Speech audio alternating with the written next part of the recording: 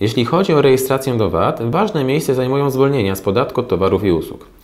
Określają one bowiem sytuacje, w których przedsiębiorcy nie muszą dokonywać rejestracji jako czynni podatnicy VAT.